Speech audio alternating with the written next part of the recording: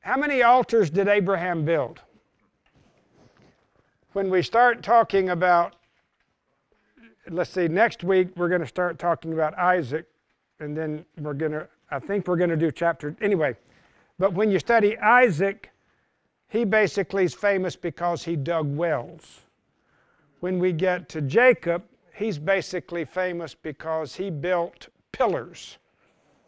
And there, my translation says pillars. They're sort of like historical markers or stained glass windows with somebody's something important happened here. That's Jacob, the rascal.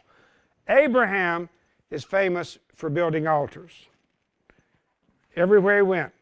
At Shechem, at Bethel, and Hebron, we've seen those, whether or not you remember it. But tonight, he built an altar like no other altar. And he was an old man and remembered a lot of places where he had made sacrifices. But what God asked him to do at Moriah was like, oh my goodness, I thought I was living a surrendered life. I thought I was walking before God and be thou perfect. And now suddenly God's asked me to do something that I don't, I, I don't even have categories to deal with it. So, this is Abraham's finest hour. If I could say it like Winston Churchill, I would. Uh, and his defining moment. I think we're just going to read it first and then we're going to uh, talk about it. Genesis 22. Um, and if I'm reading the story of Abraham right, this is the point tonight. This is the reason God called him out of Ur of the Chaldees. This is the point of his life. And he's probably 125 or 130 years of age. He's been following the Lord, fully surrendered, I think, since he was 75. Yes. And he's lived an impressive life, but this is his final exam. After these things, God tested Abraham. Now, I think the King James Version says God tempted. And I'm no scholar, but I want to be bold to say that's a bad translation. God does not tempt anybody. According to James, James, that's a New Testament quote. God tempts no one. Um, but the word is the word test. We're going to talk in a moment what's the difference between a test and a temptation. I am so glad you asked. Very important question. After these things, God tested Abraham. After what things? I'm sorry I'm pausing. Mainly last week, after he had to let go of Ishmael. Abraham had two sons, remember last? And it broke his heart. His wife got upset, kicked the slave woman out, kicked the, her kid out. God said, though, though Sarah has some heart issues uh, and probably is dealing with hate and favoritism, her instincts are actually right. So he, he says goodbye to Ishmael, who he loved. Now, there's one son left. After these things, God tested Abraham and said, Abraham? And he said, Here am I. And the here am I is sort of like at your service. It's sort of like, it's a, it's a term in the Bible that I won't explore with you tonight, but it's a good one. Verse 2 God said, Take your son, your only son. You only have one son, Abraham. And I can hear Abraham saying, No, I don't. Have, what about Ishmael? Your only son, the son of the covenant. Isaac. And what does Isaac mean? Laughter. The child that brought joy and laughter back into your home. Take your son, your only son, laughter, the one you love. And if my research is correct, this is the first time the word love is used in sacred scripture. That just breaks my heart right there. And God uses it to say to an old man about his son, That's the one I want. And offer him to me as a, excuse me, did I leave out? And go to the land of Moriah and offer him as a what? Burnt offering. I'm going to go ahead and tell you. The Hebrew word is the word olah or hola. Anybody know what that's the origin of? Holocaust. That's right. Make turn Isaac into a holocaust. I, I've, I've, one of the books I read this week is Elie Wiesel, who's a Jewish atheist, I think, but he writes a chapter on Abra- the binding of Isaac. And he makes a point. He came out of Auschwitz. His story will break your heart. If you know, he was won the Nobel Prize or the for literature Peace Prize, I think. Um, but he makes the point. Isaac was a Holocaust, and every Jew's story is found in this story. Since this point, it's like, whoa, you got my attention.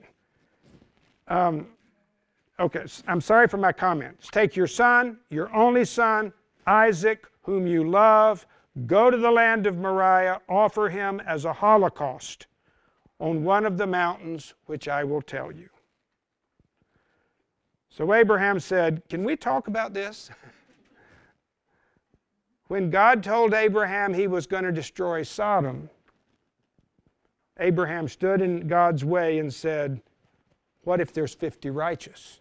Won't the God of all the earth do just? Won't the judge of all?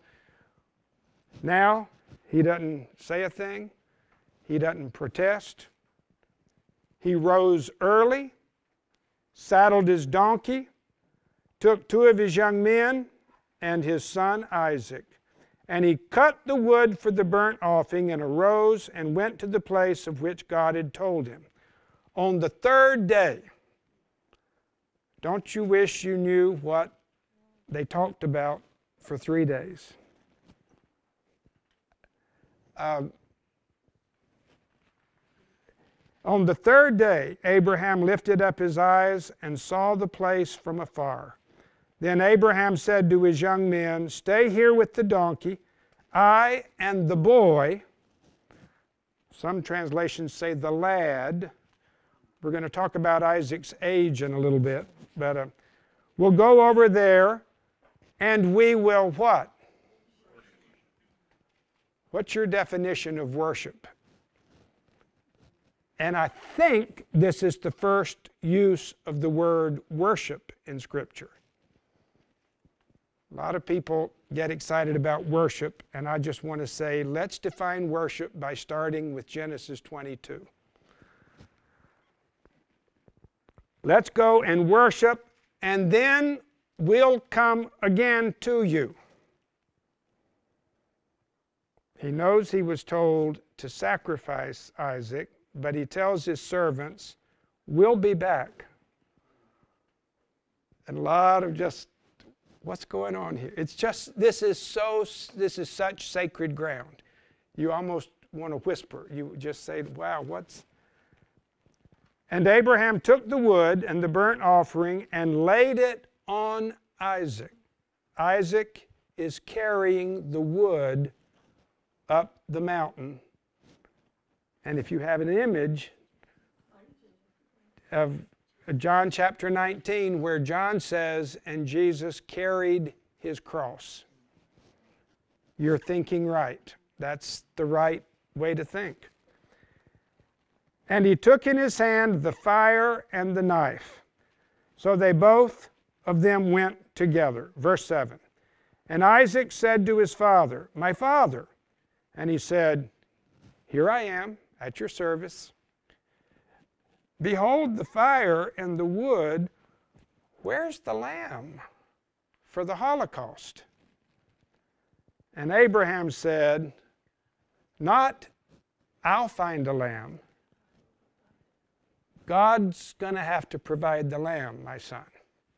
Don't look to me for the lamb. And think about all that Abraham knows. Look to God for the lamb. I don't think Isaac ever forgot those words. Look to God for the lamb. Where's the lamb? Where's the lamb? Um, verse 8 Abraham said, God will provide for himself the lamb for a burnt offering, my son. So they both went together. When they came to the place of which God had told him, Abraham built the altar and laid the wood in order on it and bound Isaac. He was probably 20 to 25 years of age. I mean, that's my estimation. A lot of debate on this. Uh, the Jews call this story the binding of Isaac. That's how it's known in the binding of, and it comes right here. So Abraham binds his son, laid him on the altar on the top of the wood. Then Abraham reached out his hand and took the knife to slaughter his son. But the angel of the Lord called to him from heaven and said, Abraham, Abraham. Twice repeated his name. And he said, At your service. It's so moving.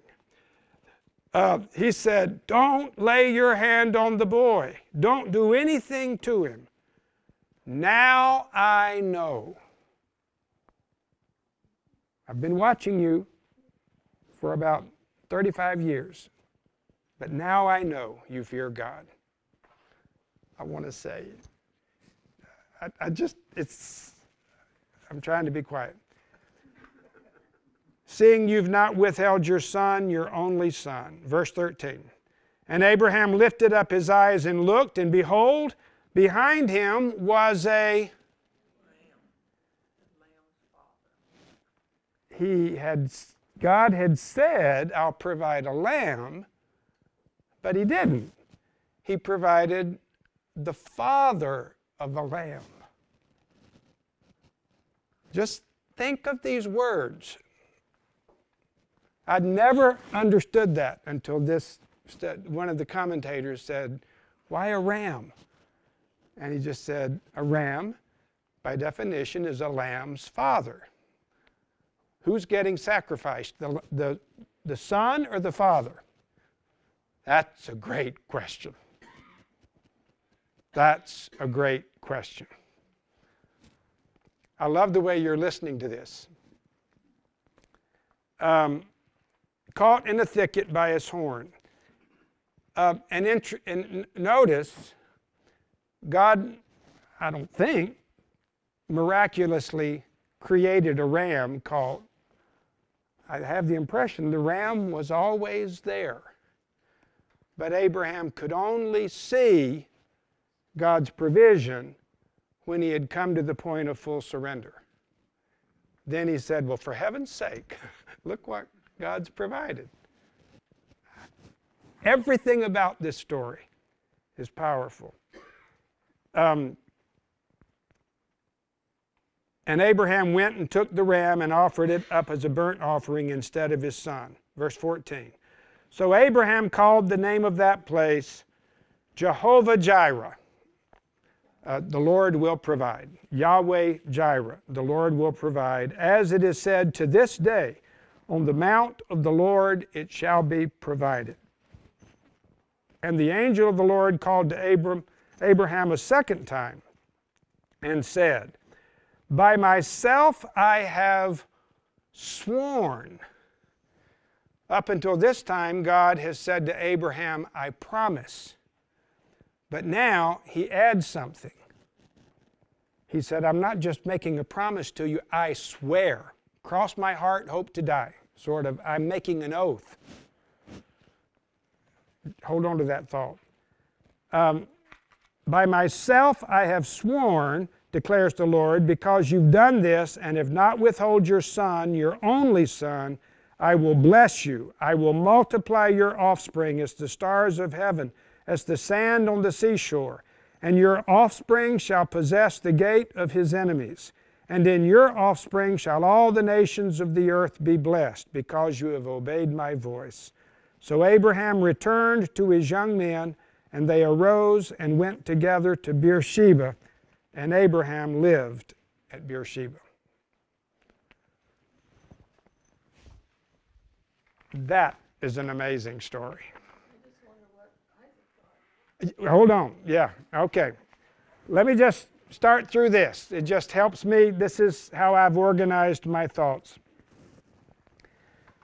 Um, Abraham, Abraham. Do you remember growing up when your mother or maybe your father would call you, call you by your name twice? Stanley, Stanley. That, uh, I mean, I can still hear it.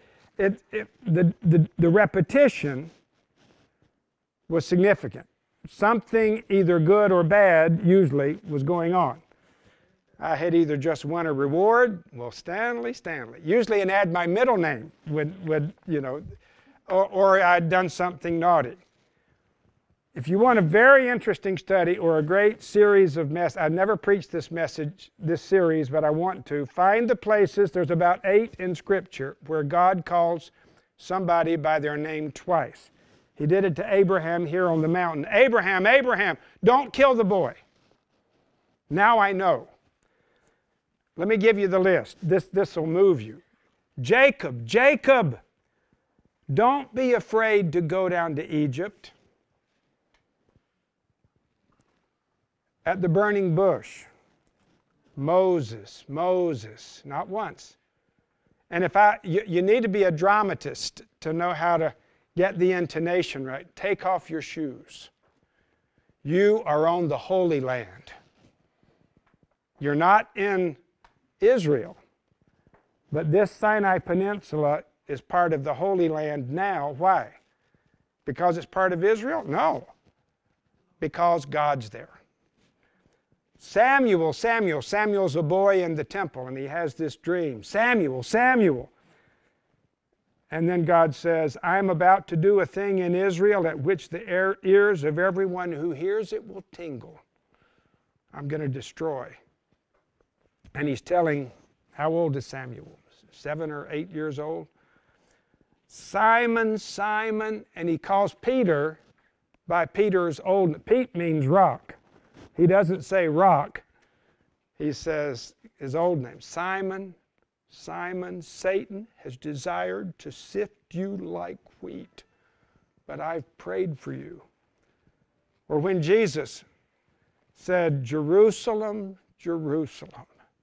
And it's that second one, the drama of it. How often I've longed to gather you as children together, as a hen gathers her brood under her wings, but you were not willing, and now your house will be left desolate. These walls will be torn down and the temple will be rubble. Jerusalem, Jerusalem. Saul, Saul, why do you persecute me? My favorite, Martha, Martha. It breaks my heart when he says it. You were anxious and fretting about so much. Martha, and you can hear the feel the love in his voice. Or on the cross when Jesus said, Eloi, Eloi, lama sabachthani, was that? But my God, my God. But those are just the double words. So Abraham, Abraham. Few chapters in the Bible equal Genesis 22 in importance. For agnostics and cynics, it confirms their worst fears. God is cruel, capricious, egotistical, irrational, and guilty of child abuse. And I promise you that's what people say about this chapter. Uh, those words. I've, divine child abuse, I've heard on more than one people say, yeah, that's the God you worship. He abuses children and they turn to Genesis 22. Is that what's going on? But for those who have eyes to see, this chapter is one of the clearest presentations of the gospel ever written. And this is about 2000 BC. and we're talking about good news. Here we are on holy ground. And I think we've already felt it. Um, I'll skip my footnotes, but you can read them. The place is holy, number one. Where is Mount Moriah? Anybody know? Anybody? If you look in uh, Second Chronicles chapter 3, verse 1, it says Solomon built his temple. We're talking about Jerusalem uh, on Mount Moriah.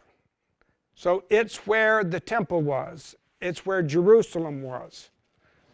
When Abram, Abraham and Isaac went there, apparently it was just uninhabited. This was centuries before there was a city there, a fortress there, a temple there. And of course, just beyond Mount Moriah is Mount Calvary. So, but this is where maybe the very location where the altar of burnt offering was in the temple. Uh, that's the place. So the place is holy. Mount Moriah and the region around it is uninhabited, but centuries later, this will be the site of Solomon's temple. Far more than Mount Sinai, this mountain, Moriah, the place of worship, sacrifice, substitution, the Lamb, will be the most holy place for the people of God. Um, I think Pharisees, if you would have said, What's the most important mountain? They would, as a knee jerk reaction, say, Sinai, Sinai. That's where the fire fell and the law was given, the Torah. And, but centuries before Sinai, we have Moriah. The persons are holy Abraham and Isaac. And let me just give you shorthand here. Abraham is all about what it means to be a father. Isaac is all about what it means to be a son. And I'm not sure which role is harder. they both have a very difficult assignment. To be a father is hard, to be a son is hard in very different ways. And so we've got this picture of Abraham, Isaac. We're going to soon meet a grandson named Jacob, and then a great grandson named Joseph. So don't leave Tuesday night By, Don't move to Brazil. We're just getting warmed up, Mel and Fran. Um, so Abraham and Isaac, the patriarchs, are for the people of God. Their beliefs and their actions set the standard for what it means to be a child of the covenant and what it means to be a father and what it means to be a son. Uh, number three, the action is holy. This chapter, set at the beginning of the story of salvation told in the Bible, introduces us to concepts that are foundational to spiritual wholeness faith, sacrifice, worship, substitution, parenting, being a father, being a son. It doesn't get more basic than that. And turn to Genesis 22 for those questions. We doing okay? Roman numeral 2. Some brief comment, commentary. Uh, just a few comments on what we've read. A, this is a test. Verse 1 God tested Abraham. It is important to distinguish between a test and a temptation. the purpose of a temptation is sinister to make someone stumble and fall. If you tempt someone, you're, you're hoping you can make them fall. God never does that. God does test. Satan tempts, but God never tempts. When you're on the receiving end, I don't know if you've ever said this and gone, gone through something really hard, and you say, Now, did God send that or did Satan send that? did God do that to me so he could strengthen me? Or did Satan do that to me, hoping I would fall? Because when you're on the receiving end, they feel sort of like the same thing. But it's very important theologically to distinguish. God does not want me to fall. If it's a temptation, it is from the pit. If it's a test, it's from God. And God tests us the same reason our school teachers tested us. Yeah, okay. Number two, God often tests or proves, tries, disciplines, educates his children. I've given you a footnote with an introduction to just get your uh, Strong's Concordance and look up the word test. It's, it's a real rich study. Um, he does this not because he is sadistic, but to reveal their true character, which is, I think, the purpose of Abraham's test. Now I know you fear God. No doubt about it. In fact, the whole world knows you fear God. You've not withheld your son, your only son. To burn away what is impure, Peter talks about tests as a furnace in which metals are put to burn away the dross so what comes out is pure gold. That's what's happening in a test. And third, to prepare for the journey ahead. It proves you, it equips you to reveal, to burn away, to prepare. Number three, the text is clear that God is testing the depth of Abraham's trust or faith. Do you trust me? Do you trust me when I tell you to do something that sounds irrational, illogical, incomprehensible, even immoral? Um,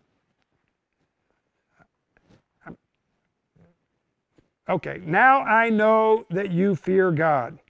Although Abraham had already trusted God to the extent that he had left everything and stepped out into the unknown in obedience, he had never been tested like this. I'm getting to that stage of life where I say to God fairly often, okay, I've done all the hard stuff. That's all behind me. And I look in the mirror of, and think, no, I, the Lord, you've, it's, you've done some amazing things. Now I'm going to coast. I, I, can't we just move to Florida and play shuffleboard for the next two decades? When I pray like that, God, does, He just looks at me and just says, I'm not even going to respond to that. Uh, that was funny to me, it wasn't to you. Letter B.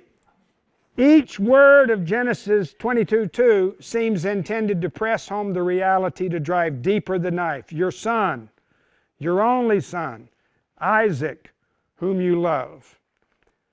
Offer him, letter C, as a burnt offering. The Hebrew term olah, and I think it's an aspirated O, a hola, is the origin of the English word Holocaust.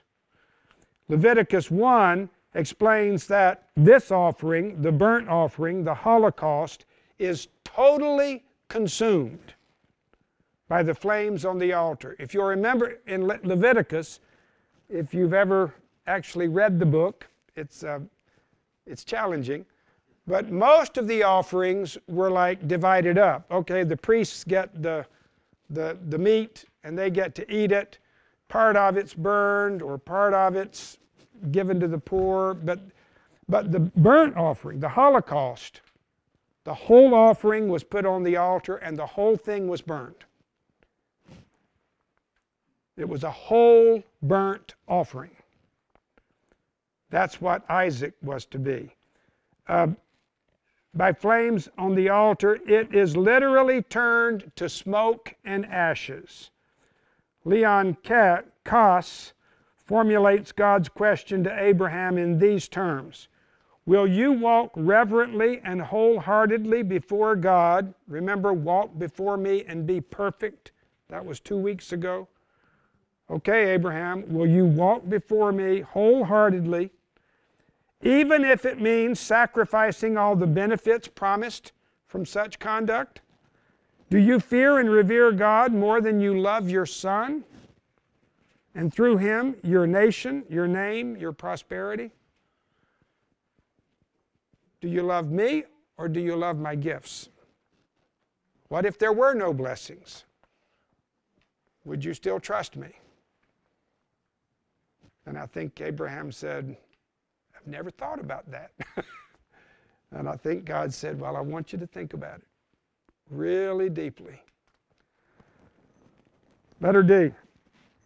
When God announced his plans to destroy Sodom, Abraham pleaded with God. Remember the session on intercession? But here, Abraham says nothing. He rises early, saddles his donkey, donkey, and promptly obeys. Apparently, he knew that on this matter there was going to be no discussion. According to Hebrews 11, he considered that God was able even to raise him from the dead, but he obeyed. And I just threw in here the serenity prayer. Grant me, God, the serenity to accept the things I cannot change, the courage to change the things I can, the wisdom to know the difference. That's a really good prayer. When he was confronted with Sodom, Abraham said, I'm going to challenge you on this, God. I don't, I'm going to stand in your way and we're going to talk this out, but with not with Isaac. Letter D God stops Abraham from killing his son, though we know that God is adamantly opposed to child sacrifice. I've got some footnotes there. That's real important to insist on that. He lets the drama play out to the last second before he intervenes. As a substitute for Isaac, God provides a lamb. Technically, God provided a ram. And like I said, it was only about two days ago that I actually thought about that. What's the father of a lamb? Apparently, the ram had been there all along, but Abraham was able to see it only after he had come to the point of full surrender. That just makes me pause and think. Abraham named the place Yahweh Jehovah Jireh. Letter F. Once Abraham has passed the test, God renews the covenant promises. God will bless Abraham, give him innumerable descendants, like sand, like stars, and make him a blessing to the nations. But this time, he's, he's renewed this promise to Abraham three or four times in since chapter 12. It just gets renewed. He does it again. This time he adds something new. And the book of Hebrews catches this and underscores it. He confirms the covenant promise with an oath. He doesn't just say, I promise you. He says, I, I swear. I give you my word. I give you my oath. By myself, I've sworn. And this is what Hebrews says. Very interesting comment. Uh, Hebrews chapter 6. For when God made a promise to Abraham, since he had no one greater by whom to swear, he swore by himself, saying, Surely I will bless you and multiply you. For people swear by something greater than themselves and in all their disputes, an oath is final for confirmation. So when God desired to show more convincingly, convincingly to the heirs of the promise the unchangeable character of his purpose, he guaranteed it with an oath so that by two unchangeable things in which it is possible for God to lie, we who have fled for refuge might have strong encouragement. So, what are the two things? that God is telling us this is why you can count on my word.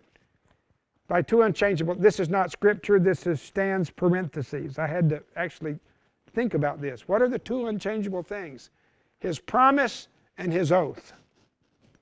He says, I promise, and he says, I swear. And the book, the book of Hebrews says, I think we can count. If God tells us something, I think we can trust Him. And God only swore to keep His promise after Abraham's binding of Isaac. Then He said, You have my solemn oath, Abraham. You can count on this. Okay, we're doing actually very good on time. I'm watching our time. I, uh, well, let me just read you my first paragraph. A text for medication. Uh, medication. That's that was a Freudian slip, wasn't it? Though I love to preach hard-hitting sermons on full surrender, I went to back and looked in my file, and I've got a few sermons where I just let it all out, preaching on Abraham and is your all on the altar kind of sermon. And uh, I thought about doing that to you sweet people tonight, but I'm, I'm, I don't think I'm compromising anything, but I just, that's not how I'm reading it this time. Though I love to preach hard hitting sermons on full surrender from Genesis 22, tonight, it's just where I'm at, I feel constrained to take a more contemplative approach. Let's, it, I just feel this is such a holy passage. I don't, I just want to be meditative.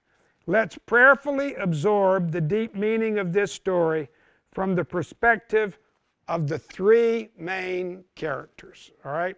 So, this is my message tonight. Let's think about what Abraham lived through. Let's think about what Isaac lived through, letter B. And then let's think about what God is going through. All right? And not so much a study. Let's just sort of say, Holy Spirit, help me to get this. Are you with me?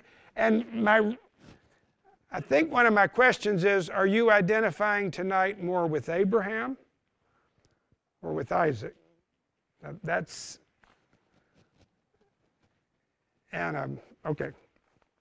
Abraham. Put yourself in his sandals. I was going to say shoes, and then I put delete. I said no sandals. And imagine what he's thinking. And I think uh, Soren Kierkegaard, which is a very hard person to read, but he's got a book called Fear and Trembling. And the whole book is about Genesis 22. And uh, it's, it's deep and over my head, but um, he says about the three days they walked that it took them to get to Moriah. He says those three days for Abraham were as long as the 3,000 years it's been since that event to now. He wrote that in about 1860 or something. But just the, what were they what was Abraham thinking? One, think again on Abraham's walk of faith prior to this moment how he had left everything, trusting in the promises of God. God, I gave you Ur of the Chaldees. I gave you my family. I gave you my mom and dad. I gave you my possessions. I left for a land and a people I'd never heard. I trusted you in the famine. I trusted you in Egypt. What more do you want? And I think, I don't know if you've ever said that to God, but been a number of, I said, I've, I've been doing the stuff. and God just says, Isaac. Number two, think again about how Abraham had fathered Ishmael. Remember the study we had on how to birth a donkey. Ishmael was a donkey of a man. That's what the scripture says. It was the result, the child of flesh doing God's will man's way. And Abram had watched Ishmael grow and become a donkey of a man. I tried to do your will my way, God, and I actually love Ishmael. and then you gave me the child of promise. Number three, Think of the mind boggling, breathtaking, heart stopping command take your only son, the one you love so much, the one named laughter, and make a holocaust of him, turn him to smoke and ashes. I, I, now, just help me. Describe what do you think he's feeling? What questions is he asking? Just give me some words. Talk to me a little bit. Horror. Horror. What else? Confusion. Yeah. Really, God? Did I get that right? Would you repeat that?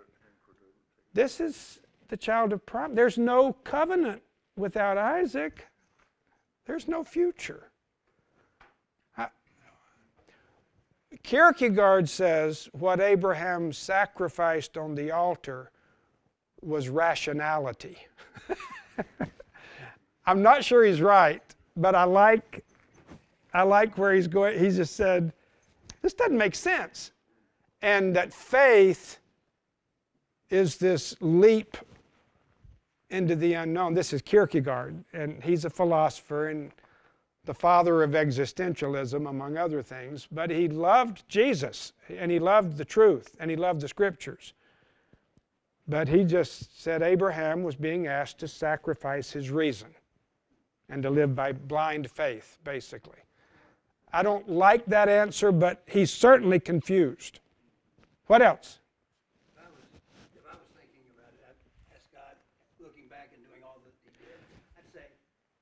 What have I done to deserve this? No, thank you. Yeah, it's like, really, God? I, I, I, this is too personal, maybe, but I, we moved here seven years ago when Katie's dad was, what, 89?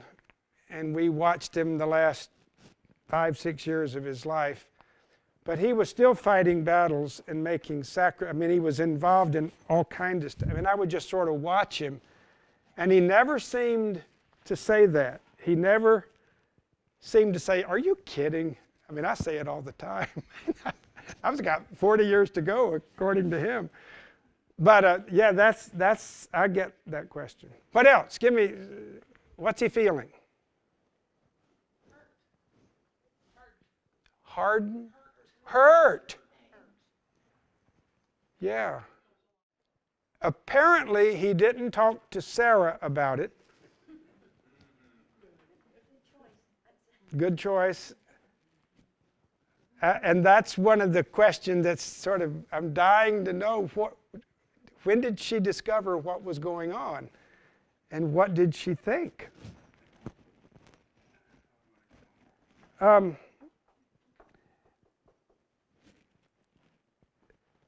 let me just keep moving. Uh, Abraham obeyed, he believed, he put his all on the altar.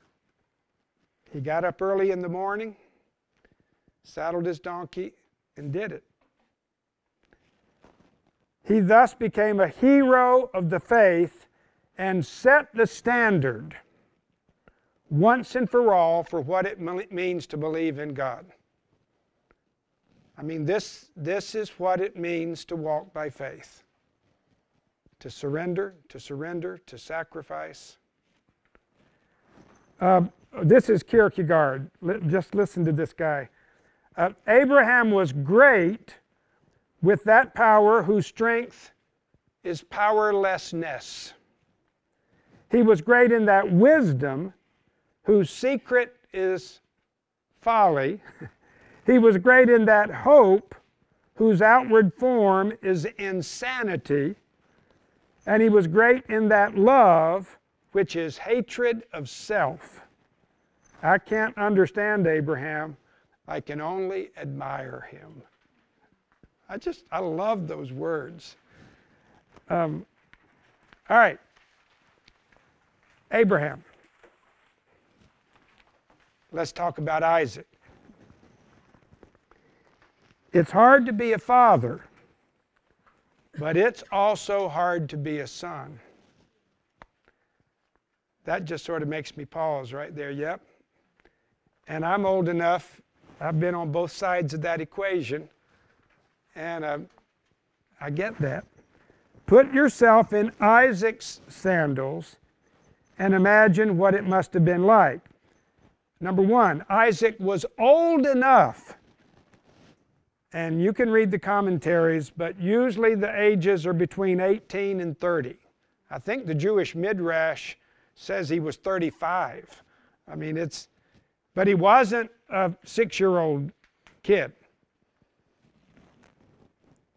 He was old enough to understand what was happening. Dad, where's the sacrifice? Where's the lamb?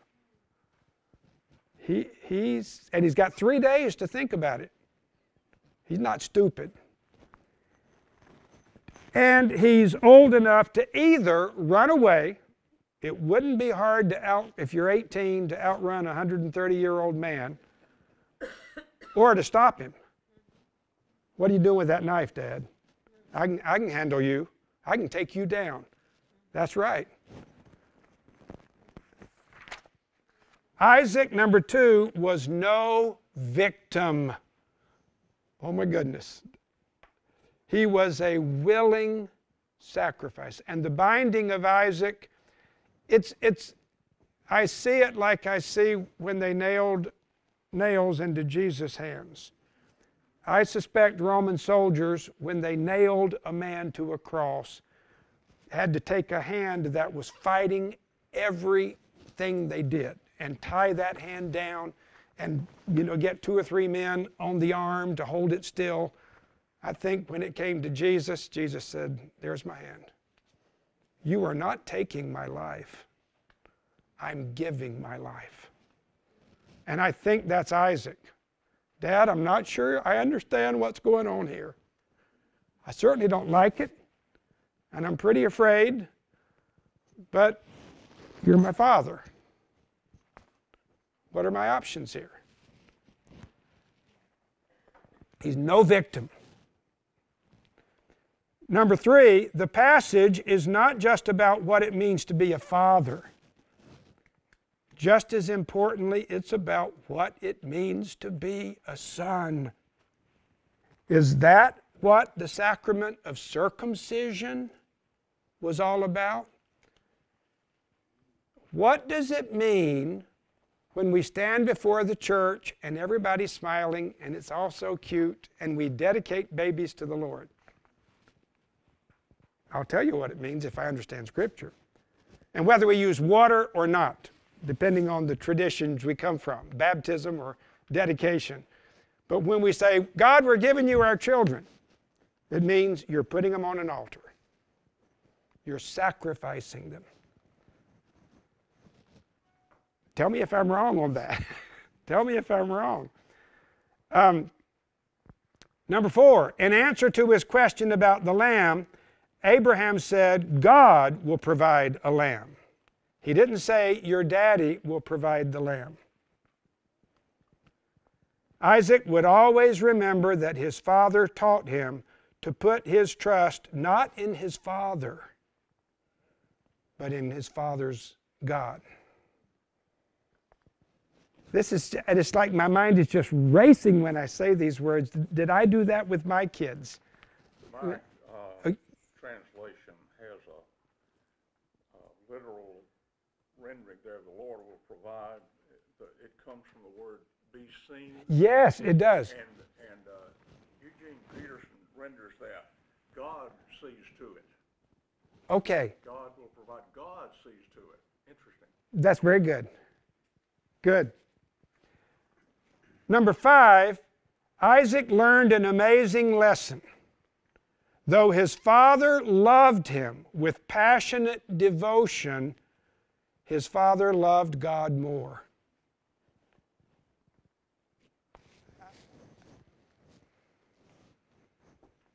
Do our children know that? I'd take a bullet for my kids. Do they know? I would do anything for my kids, but if I have to choose between kids and God, He's God, they're not.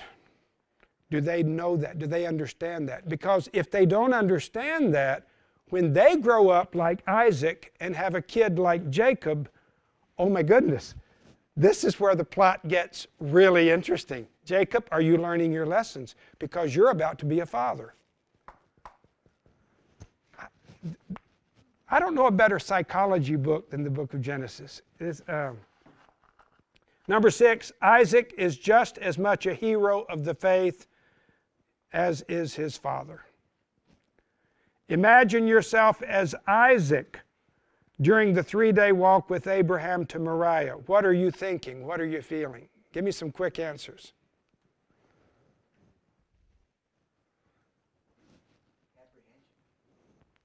What's that? Apprehension. What's going on here? Where's the lamb? Aren't you going to tell me? Why don't you talk to me, Dad? What's going on with God? What kind of a God would give a test like this? That is a good question. And if your first response is he cruel, capricious, irrational? Or is there more going on than is going on? And let me just tell you, there's more going on than is going on. Number one, it is important, it is impossible, excuse me, it's impossible to miss the foreshadowing of Calvary. If you want to say Mount Calvary, like Mount Moriah. And I, the two mountains are within eyesight. I mean, they're really one location. And the altar and the temple and the sacrifice going on on Calvary. The foreshadowing of Calvary and the drama played out on the neighboring mountain. Um, Abraham and Isaac are not the only father son team involved.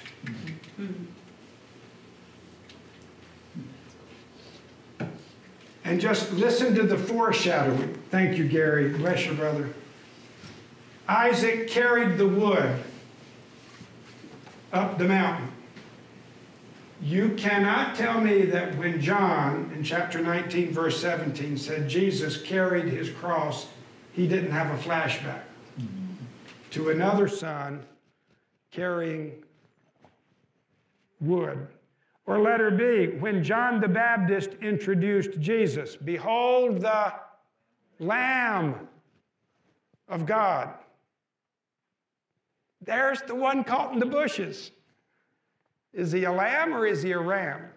Is it the son or the father who's suffering here? Oh my goodness, that, that's a good question. Who was hurting more on Mount Moriah, Abraham or Isaac? I can't imagine the father's heart. The knife hurts and is terrible and horror, but that only hurts for a little bit. Abraham was see the loving relationship between the Father and the Son. Take Isaac, whom you love, as they work in unison. I think the point of the story is both Isaac figures it out at some point. I get it. I get it. And we're only two days into this three day journey. I'm, I get it. And Isaac is cooperating. I don't think he had to fight him to tie him. I think he said, oh, You better tie my hands, Dad. I might flinch. I don't know. But there, my picture is they're working together. Uh, is a profound picture into the triune purposes of God in the atonement worked out on the cross. The Son is dying because the Father said, this cup will not pass. You will drink it. And the son said, Here I am. I'm with you. And, and, and I love quoting Elie Wiesel because he's not even a believer. I, I don't know, but I love his heart, and he's suffered, and he's Jewish. And he's a Jewish Holocaust survivor and author, writes with perhaps greater wisdom than he knows. This comes from a, a book uh, called Messengers of God, where he's, but here's the quote. And so the Father and the Son, Abraham and Isaac, walked away together, the one to bind and the other to be bound, the one to slaughter and the other to be slaughtered sharing the same allegiance to the same God, responding to the same call. The sacrifice was to be their joint offering. Father and Son had never been so close.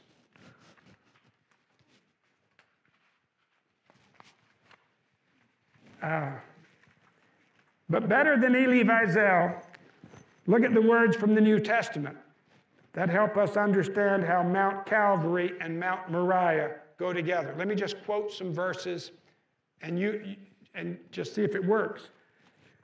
For God so loved the world that he gave his only son, the son he loved.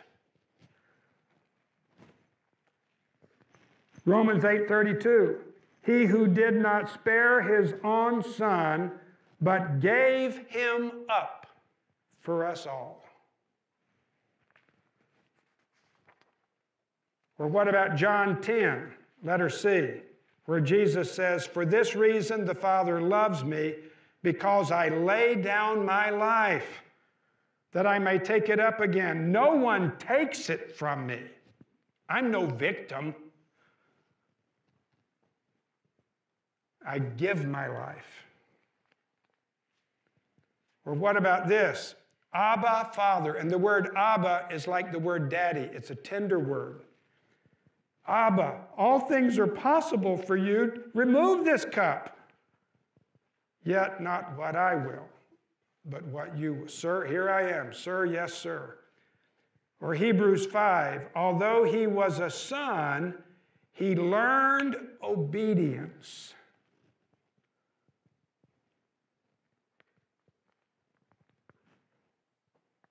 All right, I've saved the best for last. Here's this is good.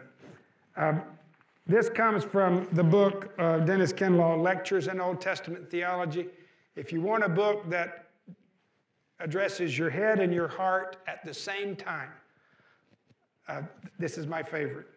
But he, I don't know whether he heard Henry Clay Morrison preach this, but he attributes this little sermon snippet to Henry Clay Morrison. And, but these are Dennis Kinlaw's words to describe the sermon. All right, and this is, we're done. The triune God was looking on at the sacrifice of Isaac. One member of the Godhead said to another, This is not the last time we're going to be on this mountain, is it? And the first person of the Blessed Trinity said, No, it'll be about 2,000 years, and we'll be back right here. And the second person of the Blessed Trinity said to the first, And when we come back next time, it's not going to be one of them on that altar, is it? And the first person of the Blessed Trinity said, No. When we come back the next time, it won't be one of them, it will be one of us.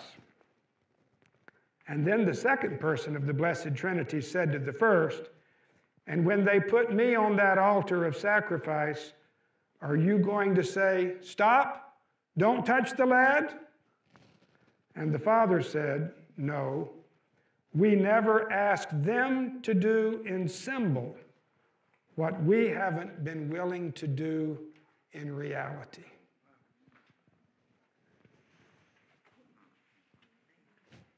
That's that's the God we worship. There's laughter over here going on. That's what it's supposed to be. Let me pray.